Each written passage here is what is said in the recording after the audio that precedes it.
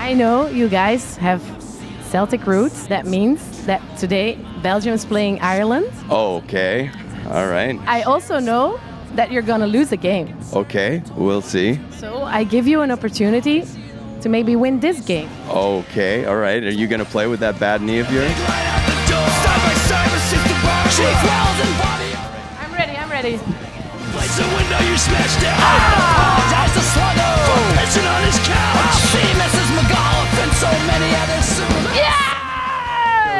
America shouldn't be playing European football.